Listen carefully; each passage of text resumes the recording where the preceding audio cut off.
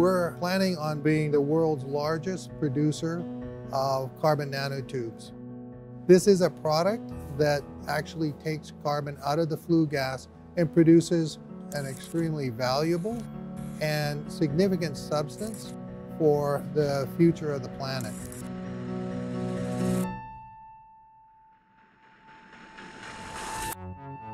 My name is Brian Vaasjo. I'm President and CEO of Capital Power.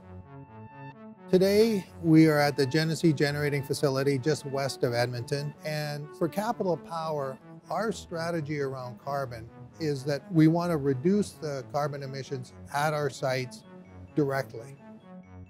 So the ERA funding that we'll be receiving is going towards a project called GC3 or Genesee Carbon Conversion Center. The process starts with flue gases from the power plant.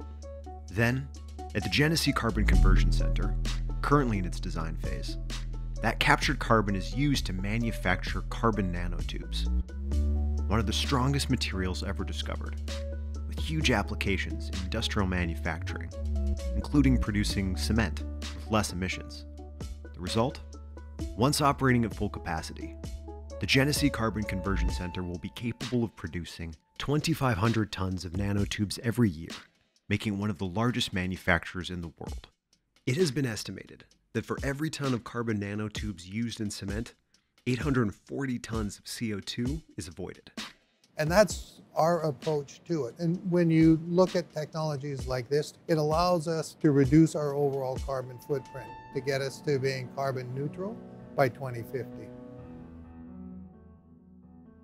ERA is providing Capital Power with $15 million to assist in the construction of the Genesee Carbon Conversion Center.